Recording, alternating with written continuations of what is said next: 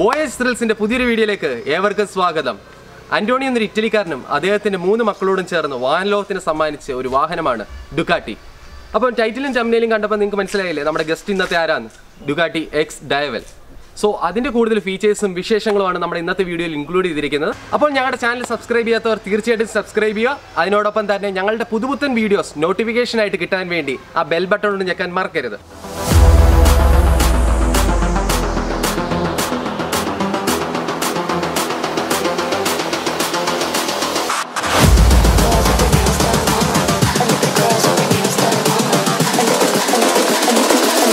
Think the girls with their nails done now.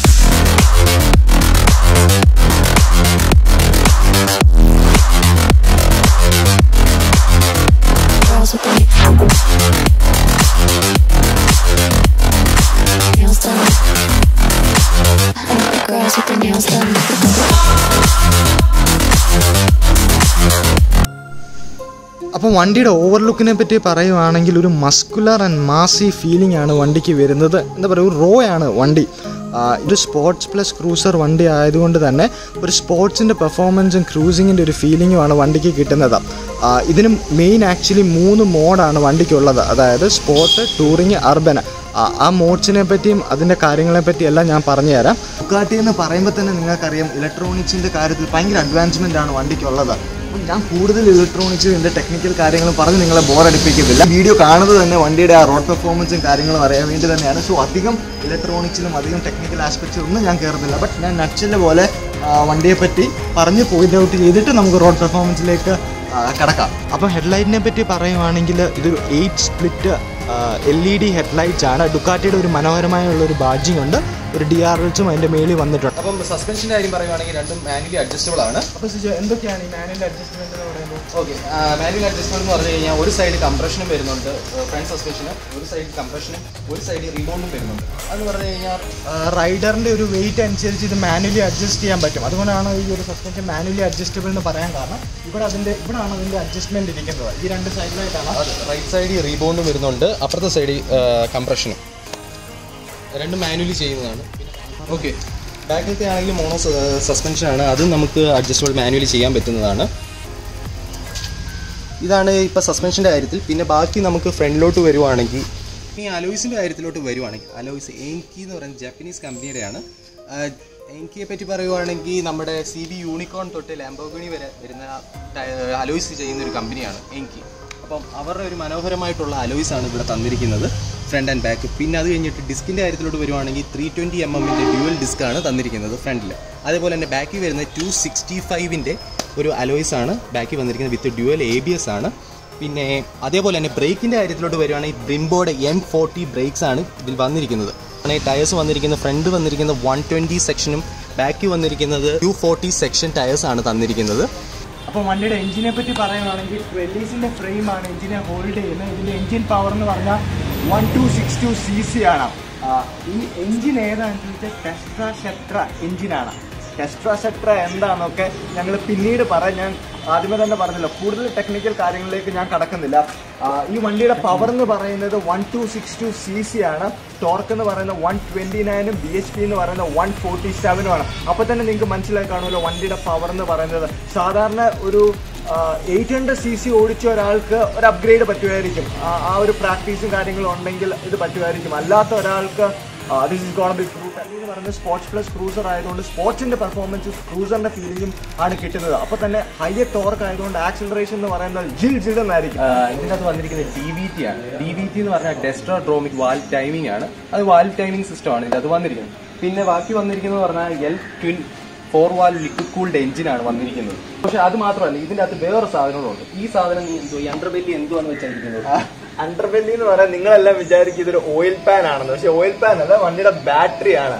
ഇവിടെ ബെല്ലിയിലാണ് ഇതിന്റെ battery pack വരുന്നത്. അത് നല്ലൊരു ഫീച്ചർ കാര്യങ്ങൾ തന്നെയാണ്. സ്പേസ് അവർ നല്ലതായിട്ട് യൂട്ടിലൈസ് ചെയ്തിട്ടുണ്ട്. ഈ അണ്ടർബെല്ലി വന്നിരിക്കുന്നത് അവർ നല്ലൊരു ബാറ്ററി പാക്ക് ആയിട്ടാണ് ചെയ്തു വെച്ചിരിക്കുന്നത്. അതിനോട് തൊട്ടടുത്ത് തന്നെ ആയിട്ട് നല്ല ഓയിൽ ഫിൽറ്ററും ഓയിലിന്റെ സെക്ഷനാണ് അത് കഴിഞ്ഞ് ബാക്കിലോട്ട് വെച്ചിരിക്കുന്നത് വണ്ടിയുടെ എക്സോസ്റ്റിനെ പറ്റി പറയുവാണെങ്കിൽ അണ്ടർബെല്ലി എക്സോസ്റ്റ് ആണ് വണ്ടിക്ക് വന്നിരിക്കുന്നത്. ഇതിന്റെ ഒരു ഗുണം എന്ന് പറയുന്നത് റൈഡറിന് ആ ഒരു ഹീറ്റ് ഇഷ്യൂസ് ഉണ്ടാവത്തില്ല. പക്ഷേ പില്ലിൻ സീറ്റിൽ ഇരിക്കുന്ന ഒരാൾക്ക് ആ ഒരു ഹീറ്റിന്റെ ഇഷ്യൂസ് ഉണ്ടാവാൻ സാധ്യത കാരണം നിങ്ങൾ ഈ കണ്ടോ എക്സോസ്റ്റ് ഇങ്ങനെയാണ് വന്നിരിക്കുന്നത്.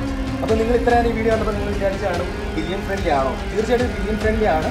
ഇതിന് ബാക്കിലോട്ട് ഒരു back rest pillion back rest തരുന്നുണ്ട് കമ്പനി സ്റ്റോക്കായിട്ട് തന്നെ. വണ്ടിയുടെ ഓണറിന്റെ സോണോ റൈഡാണ് ഇഷ്ടം. അതുകൊണ്ട് ഓണർ തന്നെ മൂടി വെച്ചിരിക്കുവാണ്.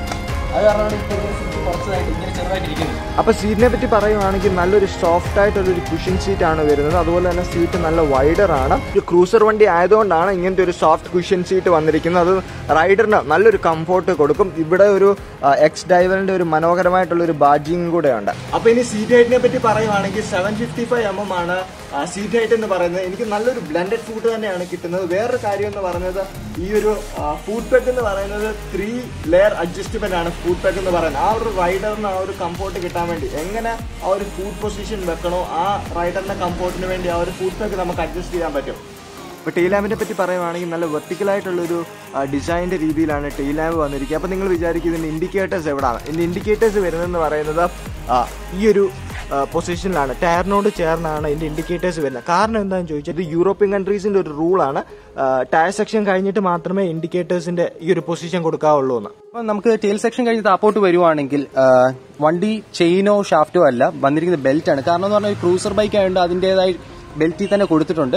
വേറൊരു ഹൈലൈറ്റ് എന്ന് പറഞ്ഞു കഴിഞ്ഞാൽ ഡുക്കാട്ടിയിൽ ഈ വണ്ടിക്ക് മാത്രമേ വരുന്നുള്ളൂ ബെൽറ്റ് അതാണ് ഇതിന്റെ അകത്ത് വന്നിരിക്കുന്ന ഹൈലൈറ്റ് പിന്നെ അത് കഴിഞ്ഞിട്ട് നമുക്ക് എക്സോസ്റ്റിന്റെ കാര്യത്തിലോട്ട് വരുവാണെങ്കിൽ ജോഷ് ഓൾറെഡി മെൻഷൻ ചെയ്തിട്ടുണ്ട്. എസോസ്റ്റ് വന്നിരിക്കുന്ന ഒരു അണ്ടർബെല്ലി എസോസ്റ്റ് ആണ് വന്നിരിക്കുന്നത്. വളരെ സ്വീറ്റ് ആയിട്ടുള്ള സൗണ്ട് സൗണ്ടാണ് ഡുക്കാട്ടിയുടെ സ്റ്റോക്ക് എസോസ്റ്റ് തന്നെയാണ് ഇവിടെ വെച്ചിരിക്കുന്നത്. വണ്ടിയുടെ ഹാൻഡിൽ ബാറിനെ പറ്റി പറയുകയാണെങ്കിൽ എനിക്ക് നല്ലൊരു അപ്രൈറ്റ് പൊസിഷൻ തന്നെയാണ് വണ്ടിക്ക് കിട്ടുന്നത്. ആ ഒരു ക്രൂസർ ബൈക്ക് ആയതുകൊണ്ട് തന്നെയുള്ള ഒരു ആ ഫീലിങ്സും കാര്യങ്ങളുമാണ് കിട്ടുന്നത്. അപ്പോൾ ഇതിന്റെ ടാങ്ക് കപ്പാസിറ്റി എന്ന് പറയുന്നത് എയ്റ്റീൻ ലിറ്റർ ടാങ്ക് ആണ് വരുന്നത്. സ്പോട്ട് ടൂറിങ് അർബൻ ഇങ്ങനെ ത്രീ മോഡ്സ് വന്നിരിക്കുന്നത് ഈ ത്രീ മോഡ്സ് എന്ന് പറഞ്ഞു കഴിഞ്ഞാൽ അതിന്റെ അകത്ത് ഈ അതറിയാത്തവർക്ക് വേണ്ടി ഞാൻ പറയാം. എന്ന് പറഞ്ഞാൽ അതിന്റെ അകത്ത് എ ബി എസിന്റെ ട്രാക്ഷൻ നമ്മളത് മാറ്റുന്നുണ്ട്. എന്ന് പറഞ്ഞാൽ ഇപ്പം സിറ്റീസിലായിരിക്കും നമുക്ക് എ ബി എസ് കൂടുതൽ വേണ്ടിയത്. അതുപോലെ തന്നെ സ്പോർട്സ് മോഡ് വരുവാണെങ്കിൽ നമുക്ക് അവിടെ എ ബി എസിന്റെ ആവശ്യമില്ല. ആ സമയത്ത് വണ്ടി കുറച്ചുകൂടി അഗ്രസീവാണ് ആ. സമയത്തിന് വേണ്ടിയാണ് സ്പോർട്സ് മോഡ് ആ സമയത്തേക്ക് എ ബി എസ് വേണ്ട. അങ്ങനത്തെ കുറെ കാര്യങ്ങളാണ് ഈ മൂന്ന് മോഡ്സ് പിന്നെ വേറൊരു ഫീച്ചർ എന്ന് പറയുന്നത് വണ്ടി കീലെസ് ആണ്. കീലെസ് ഫംഗ്ഷൻ ഡുക്കാട്ടീസിലാണ് മെയിൻലി കണ്ടിട്ടുള്ളത്. എന്ന് പറഞ്ഞാൽ ഇപ്പം നമുക്ക് കീ ഇല്ലെങ്കിൽ താണ്ട് ഇവിടെ താഴെ കാണുന്ന ഈ ബട്ടണെ ഞെക്കിയാൽ മതി. ഇതേ ഇഗ്നീഷ ബട്ടണെ ഞെക്കി കഴിയുമ്പോഴത്തേന് നമുക്ക് നമുക്കൊരു ഫോർ ഡി ടി പിന്ന് നമ്മൾ സെറ്റ് ചെയ്യുന്നുണ്ട്. അതാണ്ട് ഇൻസെർട്ട് പിൻ ഈ ഫോർ ഡിജിറ്റ് പിന്ന് കൊടുത്തു കഴിഞ്ഞാൽ നമുക്ക് ഈ വണ്ടി സ്റ്റാർട്ട് ചെയ്യാൻ പറ്റും.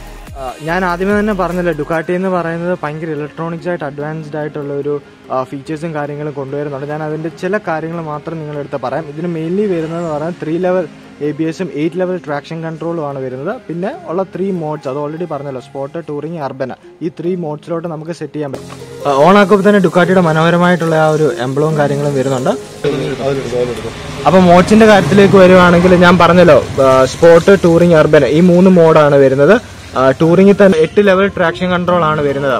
A B S three level A B S ആണ് വരുന്നത്. ഈ ഒരു സ്വിച്ച് എന്ന് പറയുന്ന വണ്ടിയുടെ എന്റയർ മെനു കൺട്രോൾ ചെയ്യാനും ഈ ഒരു സ്വിച്ച് എന്ന് പറയുന്നത് വണ്ടിയുടെ ക്രൂസ് കൺട്രോൾ ചെയ്യാൻ വേണ്ടിയാണ്. ഈ പ്ലസും മൈനസും പറയുന്നത് ആ ക്രൂസിന്റെ സ്പീഡും കുറയ്ക്കാനും കൂട്ടാൻ വേണ്ടിയാണ്. ഒരു ഹൺഡ്രഡ് ടു വൺ ഫിഫ്റ്റി കിലോമീറ്ററിൽ പോകുമ്പോഴാണ് നമുക്ക് ആ ഒരു ക്രൂസിങ്ങിന്റെ ആ ഒരു ഫീൽ കിട്ടുന്നത്. വണ്ടിയുടെ ഫാസ്റ്റ് ആൻഡ് ഫ്യൂരിയസ് ഇരിക്കുന്ന ഇവിടാണ്. ഈ ഒരു ബട്ടൺ ആണ് വണ്ടിയുടെ പവർ ലോഞ്ച് എന്ന് പറയുന്നത്. ഞാൻ പറഞ്ഞല്ലോ ഫാസ്റ്റ് അല്ല ഫ്യൂരിയസ് ഞാൻ ആ ഒരു വേർഡ് എടുക്കുന്നുള്ളൂ. അപ്പോൾ ഇവിടാണ് അതിന്റെ പവർ ലോഞ്ച് ഇരിക്കുന്ന ബട്ടൺ എന്ന് പറയുന്നത്. അത് ആർക്കും അങ്ങനെ അറിയത്തില്ല. അപ്പോൾ കണ്ടോ ഇത് ലോങ് പ്രസ് ചെയ്യുമ്പോഴാണ് നമുക്ക് ആ ഒരു പവർ മോഡ് ഓൺ ആവുന്നത്. ഈ ലെവൽ വൺ എന്ന് പറയുന്ന ഫുൾ അഗ്രേഷൻ ലെവലും ലെവൽ ടു എന്ന് പറയുന്നത് ഒരു മീഡിയം അഗ്രേഷൻ ലെവലും ലെവൽ ത്രീ അതിനെക്കാട്ടി കുറച്ചും കൂടെ കുറവ്. ഇത്രയാണ് കാര്യങ്ങൾ കീ എന്ന് പറയുന്നത്. കീ റിമോട്ടാണ് ആക്ച്വലി ഇത് ഫ്യൂൽ ടാങ്ക് തുറക്കാൻ വേണ്ടി മാത്രമാണ് യൂസ് ചെയ്യുന്നത്. ബാക്കിയെല്ലാം റിമോട്ടാണ് അടുത്ത് കീ കൊണ്ടുവന്ന് ടെക്നീഷ്യൻ സ്വിച്ച് പ്രസ് ചെയ്യുമ്പോൾ വണ്ടി ഓട്ടോമാറ്റിക്കായിട്ട് ഓണാവും പിന്നെ ആ വണ്ടിയുടെ എക്സോസ് നോട്ടും കാര്യങ്ങളും കൂടെ നിങ്ങളെ കേൾപ്പിച്ചു തരാം.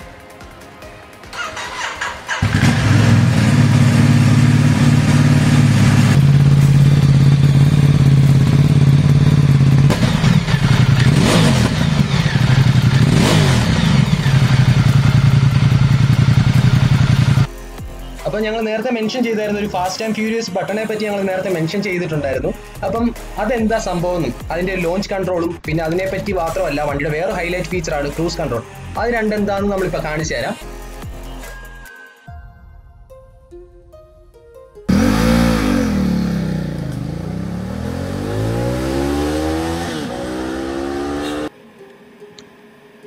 വണ്ടിയുടെ റൈഡിംഗ് പെർഫോമൻസിനെ പറ്റി പറയുവാണെങ്കിൽ നല്ലൊരു അപ്രൈറ്റ് പൊസിഷൻ തന്നെയാണ് വണ്ടിക്ക് കിട്ടുന്നത്. ഞാൻ ഓൾറെഡി പറഞ്ഞല്ലോ ഇത് ഒരു സ്പോർട്സ് പ്ലസ് ക്രൂസർ വണ്ടി ആയതുകൊണ്ട് തന്നെ പക്ക ഒരു സ്പോർട്സ് പെർഫോമൻസും ആ ഒരു ക്രൂസിംഗ് ഫീലിംഗും ആണ് വണ്ടിക്ക് കിട്ടുന്നത്. ആ ഒരു സീറ്റ് കുഷ്യൻസ് ഒക്കെ നല്ലൊരു ഫീലാണ് ആ റൈഡറിന് കിട്ടുന്ന ആ ഒരു നല്ല ഫീൽ തന്നെയാണ് കിട്ടുന്നത്. പക്ക ഒരു എന്താ പറയുന്നത്? നല്ല സ്പോർട്സ് പെർഫോമൻസ് ആണ് കിട്ടുന്നത്.